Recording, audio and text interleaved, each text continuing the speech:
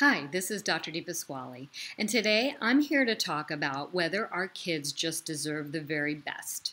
And I think there's a big phenomenon that's gripping the United States in this generation.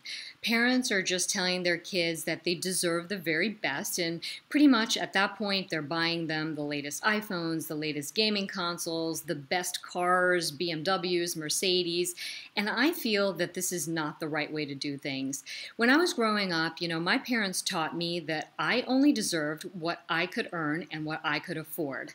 I started working at the age of 14 and I was was serving ice cream, mopping floors, doing whatever I had to because my parents wouldn't just give me whatever extra money that I needed. They told me if I needed money, I needed to go out and get a job and basically earn it. And that's what that's how it was.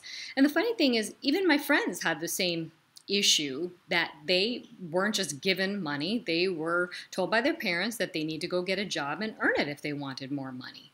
But what's happening these days is very, very different. I mean, I watch how my kids' friends are being treated by their parents versus, I guess, what we do. We do the same things our parents did. We tell our children that, you know, they get X amount of money per week, but if they want more than that, they need to earn it by either doing chores around the house or getting a job. Now, my kids' friends, on the other hand, most of them are getting somewhere along the lines of 50 to $100 a week for allowance, which I think is just a large amount of money. And many of them get the best cars. They don't have to pay for insurance. They don't have to pay for their phones. They don't have to pay for anything.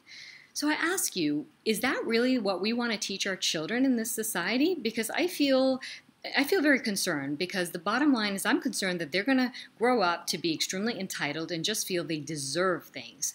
I think rather than tell kids that they deserve the very best, it's best to tell them that they deserve what they can earn. And that way it gives them the initiative and the, um, the interest to work, save money, and save for the things that they want out of life.